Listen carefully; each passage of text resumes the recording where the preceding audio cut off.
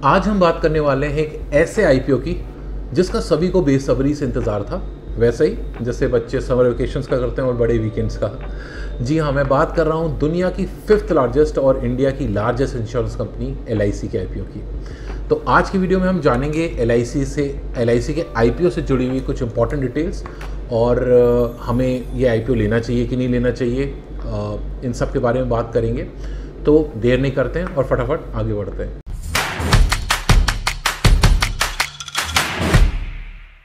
LIC का full form है life insurance corporation of India ये कंपनी फ़र्स्ट सितंबर 1956 को इस्टेब्लिश हुई थी। मतलब ऑलमोस्ट पैंसठ साल पुरानी कंपनी है और इंडिया की सबसे पहली और सबसे पुरानी इंश्योरेंस कंपनी है। आज की डेट में इसकी पूरी ओनरशिप गवर्नमेंट ऑफ़ इंडिया की पास है।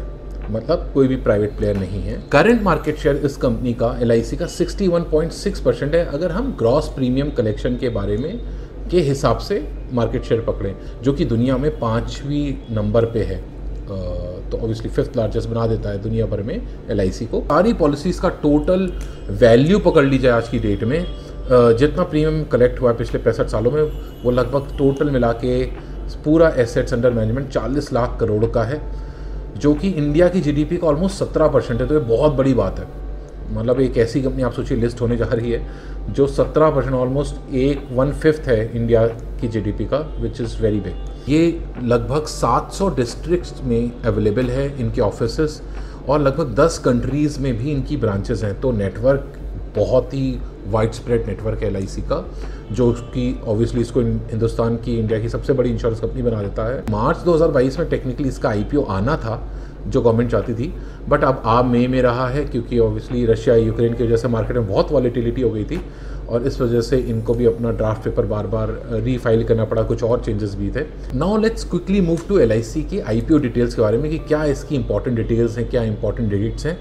तो ये आईपीओ खुल तो रहा है चार मई को, फोर्थ मई को, जो कि वेडनेसडे है, और बंद होगा नाइन्थ मई को which is Monday so fourth में 2022 को ओपन होकर नाइन्थ मे को ये बंद हो जाएगा।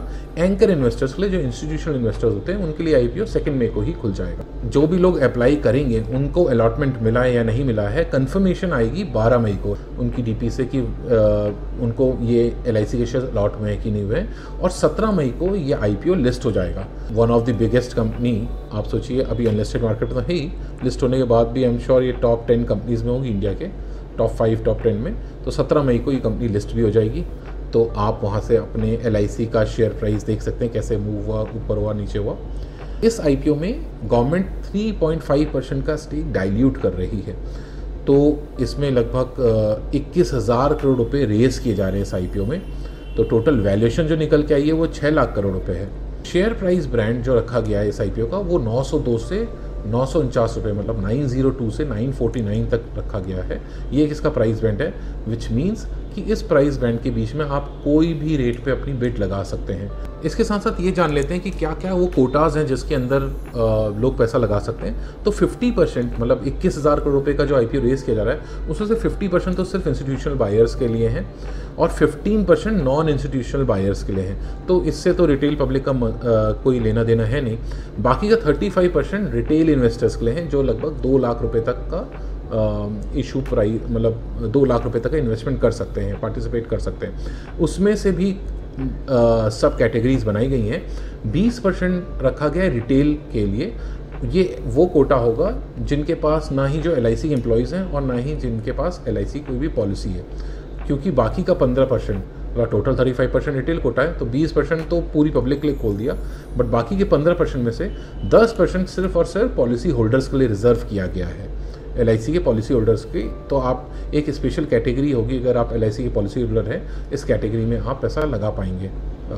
और पाँच परसेंट रिज़र्व किया गया है एम्प्लॉयज़ के लिए। तो ये होता है thirty five percent twenty percent पूरी पब्लिक के लिए टेन परसेंट पॉलिसी होल्डर्स के लिए और पाँच परसेंट एम्प्लॉयज़ के लिए कोटा रखा गया है। इसके साथ ही साथ स्टॉक प्राइस पे डिस्काउंट भी रखा गया है। रिटेल बायर्स के लिए। तो रिटेल बायर्स के अंदर तो सारे आ गए मतलब कॉमन पब्लिक आ गई पॉलिसी होल्डर्स आ गए एम्प्लॉयज़ आ गए। बट पॉलिसी होल्डर्स के लिए स्पेशल प्राइस है, उनको सिक्सटी रुपीज़ का डिस्काउंट दिया जा रहा है नॉर्मल बेस प्राइस से। और बाकी के रिटेल और एम्प्लॉयज़ के लिए और रिटेल बायर्स के लिए फोर्टी फाइव रुपीज़ का डिस्काउंट है पर शेयर पे। जब आप ये डिस्काउंट ऑब्वियसली आप ले रहे हैं एज अ रिटेल बायर तो आपको मिनिमम तो पंद्रह शेयर्स लेने हैं जो मिनिमम लॉट होता है। ये लगभग लगभग चौदह पंद्रह हज़ार का अमाउंट इसमें बन के आएगा और मैक्सिमम आप, जैसे मैंने बताया, दो लाख रुपये ही कर सकते हैं। तो आप पंद्रह हज़ार से दो लाख रुपये की आपकी एक लिमिट है। और आपको लॉट्स के मल्टीपल पे मतलब एक लॉट अगर पंद्रह शेयर्स का है तो अगर आपको तो आप इसमें सोलह, सत्रह शेयर्स नहीं ले सकते तो या तो आपको पंद्रह शेयर्स लेने हैं, उसी के मल्टीपल पे लेने हैं। तो आपको ज़्यादा पैसा लगाना है तो पंद्रह या फिर तीस, पैंतालीस, साठ, इस तरीके के मल्टीपल पे आप इसमें पैसा लगा सकते हैं बट मैक्सिमम अमाउंट दो लाख रुपये ही लगा सकते हैं, अगर आप रिटेल कैटेगरी के इन्वेस्टर हैं, और ऑब्वियसली आप यू नो आपको डिस्काउंट मिल रहा है। अब समझ लेते हैं कि इसमें अप्लाई कैसे करना है। एप्लीकेशन बहुत सिंपल है जैसे कि आप बाकी आई में एप्लीकेशन करते हैं, वैसे ही एलआईसी के आईपीओ में भी अप्लाई करना है। इसमें डीमेट अकाउंट होना मैंडेटरी है, क्योंकि डी पी का बहुत इंपॉर्टेंट यूज़ होता है। इस आईपीओ को आप बाकी आई की तरह ऑनलाइन ऑफलाइन बिल्कुल लगा सकते हैं, अपने बैंक को अप्रोच करके। तो जब भी अगर आप ऑफलाइन या ऑनलाइन एप्लीकेशन भर रहे हैं, क्योंकि उसमें D P I D mention करना is very very important D P I D basically वही यू नो आपकी डीमेट अकाउंट की आईडी होती है जो आपको भरना होता है। तो अगर आपको शेयर्स अलॉट होते हैं तो वो शेयर्स आपके डीपी में रिफ्लेक्ट हो जाते हैं मतलब आपके डीमेट अकाउंट पर दिखने लग जाते हैं आपको। दूसरा, अगर आप एक पॉलिसी होल्डर हैं और उस कैटेगरी के, उस रिज़र्व कैटेगरी में अप्लाई कर रहे हैं तो ये ज़रूर ध्यान रखिए कि आपकी पॉलिसीज़ में आपके पैन नंबर अपडेटेड होने चाहिए।